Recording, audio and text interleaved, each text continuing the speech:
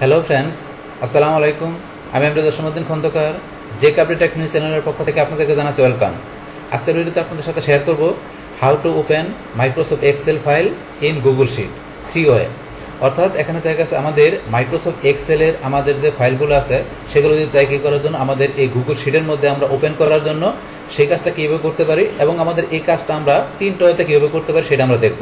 এখন আমাদের এই কাজটা করার জন্য প্রথমে আমরা দেখব যে কি আমাদের প্রথম ওয়ে কোনটা, আমরা দেখব যে গুগল ড্রাইভ থেকে কাজটা দেখব।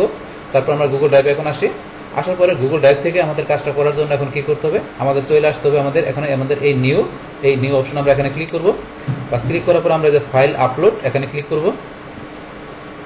বাস ক্লিক করার পরে এখন আপনার আপনার এখানে ড্রাইভে কোন জায়গায় আপনার কোন ড্রাইভে বা ফোল্ডারে আপনার যে মাইক্রোসফট এক্সেলের আপনার এখানে যে ফাইলটা রাখছেন, সেটা এখান থেকে দেখাই দেবেন। তাহলে আমার এখানে মাই ডকুমেন্ট আছে। তাহলে যে ইমপ্লয় স্যালারি শিট আমার ফাইলটা সিলেক্ট করার পরে আমরা ওপেনে ক্লিক করি। বাস এই যে আমার এখানে গুগল ড্রাইভের মধ্যে আমার এই ফাইলটা এখানে চলে আসছে। আমার এখানে মাইক্রোসফট এক্সেলের ফাইলটা চলে আসছে। আসার পরে এটা আপনি ওপেন করতে গেলে কি করতে হবে? আমরা এই ফাইলের উপর এখানে ক্লিক করব। করার পর মাউসের নাম্বারে ক্লিক বাস তারপর ক্লিক করার পর আমরা ওপেন হইতে যাই। ওপেন হতে যাওয়ার পরে যে গুগল শিট আমরা গুগল শিটে ক্লিক করলে বাস গুগল শিটের মধ্যে আমাদের এই মাইক্রোসফট এক্সেলের ফাইলটা এখানে ওপেন হয়ে গেল। বাস এই যে আমাদের এখানে, আমাদের অনলাইনে গুগল শিটের মধ্যে ওপেন হয়ে গেল বাস এখন গুগল ড্রাইভের মধ্যে আমাদের এটা কি থাকবে? আমাদের এই এই মাইক্রোসফট এক্সেলের শিটটা থাকবে। বাস এখন থেকে আমরা কাজ করতে পারব। এটা হচ্ছে আমাদের প্রথম ওয়ে। আমাদের কি করার জন্য? আমাদের মাইক্রোসফট এক্সেলের যে আমাদের ফাইলটাকে আমাদের গুগল শিট ওপেন করার। বাস এখন আমাদের সেকেন্ড ওয়ে কোনটা? বা সেকেন্ড ওয়ে হচ্ছে, এখন আমরা সরাসরি চলে যাব কোথায়? আমরা চলে যাব আমাদের এই যে গুগল স্পে যে একটা ব্লাঙ্ক স্প্রেডশিট তো নেওয়ার পরে আমাদের এই ব্লাঙ্ক স্প্রেডশিট নেওয়ার পর এখান থেকে আমরা এই যে আমরা ফাইল মেনুতে ক্লিক করব, করার পর আমরা যে ওপেনে ক্লিক করব। বাস ওপেনে ক্লিক করার পর আপনারা চলে আসবেন কোথায়? এই যে আপলোড অপশনে এখানে আসার পরে যে আপলোডে ক্লিক করবেন, করার পরে এখান থেকে select file from your device এখান থেকে আপনারা ক্লিক করার পরে ক্লিক করার পরে কী করবেন? আপনাদের এই যেটা দেখা দিবেন। আপনার যে ফাইলটা ওপেন করবেন, সেটা সিলেক্ট করবেন। করার পর এখন ওপেনে ক্লিক করলে সেই ফাইলটা এখানে আমাদের কী হয়েছে? ওপেন হয়ে যাবে।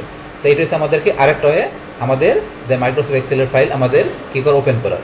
এটা হলো আমাদের সেকেন্ড ওয়ে এবার আমাদের লাস্ট ওয়ে কোনটা? আমাদের যে লাস্ট থ্রি ওয়েটা হয়েছে আমাদের এখানে কি করতে হবে? এখন আমরা এই যে এখানে গুগল শিট এখানে শিট হোম আমরা এখানে ক্লিক করব।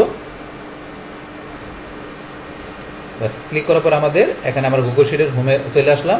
আসার পর এখান থেকে আমরা কোথায় চলে যাব? আমাদের এই যে অপশনগুলো আছে এদিকে আমরা, এই যে এখানে ওপেন ফাইল পিকার এই যে ওপেন ফাইল পিকার আমরা এখানে ক্লিক করব।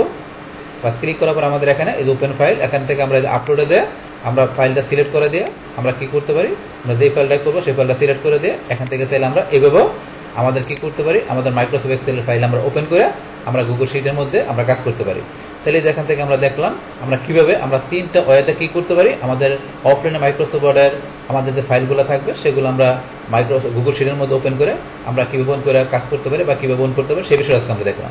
তাহলে এই আমাদের এখানকার যে টোটাল বিষয়টা, মূলত আমাদের আজকের ভিডিও ডিয়ার ফ্রেন্ডস আমার আজকের এই how to open Microsoft Excel file in Google sheet three way এই ভিডিও যদি আপনাদের কাছে ভালো লেগে থাকে কিংবা এই ভিডিও থেকে আপনারা কিছু শিখে থাকেন উপকৃত হয়ে থাকেন, তাহলে আমার এই জেকে আপডেট টেকনোলজি চ্যানেলটি আপনারা সাবস্ক্রাইব করবেন, লাইক করবেন, কমেন্ট করবেন এবং সবার সাথে শেয়ার করবেন। Thanks everybody